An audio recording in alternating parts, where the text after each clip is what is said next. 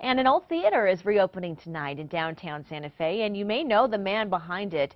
The John Cocteau Cinema, known for showing foreign and independent films, was recently bought by George R. R. Martin, the creative mind behind the hit HBO series Game of Thrones. Martin lives in the city different and says he wants to create a clubhouse for movie lovers. The first movie showing will be Forbidden Planet at 6:30.